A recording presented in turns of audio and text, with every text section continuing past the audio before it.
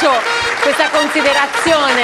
Cioè, Arianna, sì, a no, proposito di giovani, lavoro, ottimismo, in studio adesso si alzerà una persona che ha un passato di bugie e corporation, ma ti assicuro è una storia revolution.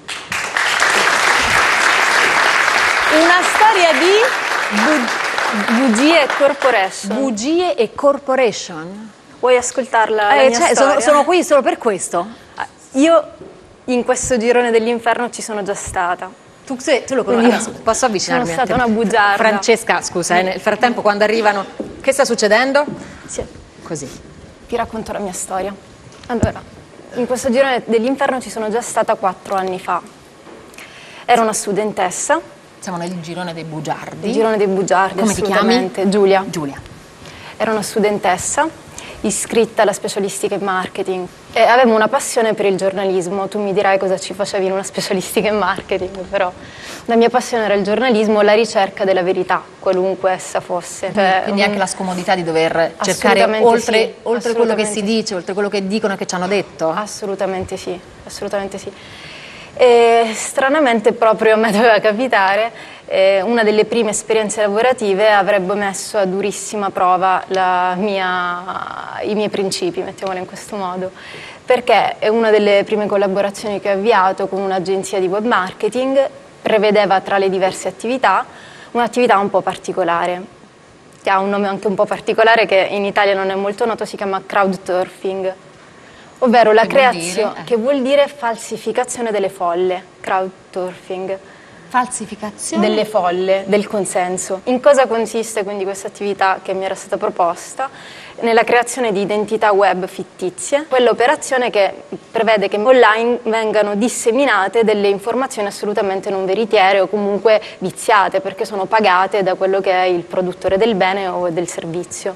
E tu eri... Io ero una povera, no, no, povera no, ero una ragazza che si affacciava al mondo del lavoro e mi è stato chiesto di fare questo. Cioè di fare questo, cioè... Di fare questo tecnicamente, cioè Quindi- mi venivano dati una sorta di messaggi già fatti oppure dovevo elaborarli io intorno a dei prodotti e servizi che facevano parte di settori tra l'altro molto delicati come il settore sanitario o quello della cosmesi, quindi sono cose che già di per sé mh, il marketing cioè, deve seguire determinate regolamentazioni per essere... Dovrebbe, Dovrebbe, Cioè, dovrebbe dirci qualcosa che sia più possibile davvero, se riguarda un sì. po' la mia salute o cose che Sì. metto comunque addosso, giusto sulla pelle. Assolutamente sì, e invece tutt'altro. Avevi- Mi fingevo un utente che aveva provato il prodotto e dicevo ovviamente delle cose straordinarie. Ho provato questa crema, erano Sì. anche creme, queste robe qui. Assolutamente, sì, anche interventi chirurgici fatti da chirurgi plastici. Con cose- tanto di nome del chirurgo? Assolutamente sì. Ho espresso le mie perplessità perché oggettivamente, av- avendo fatto degli studi in comunicazione, sapevo che per il codice del consumo questa è una pratica commerciale scorretta,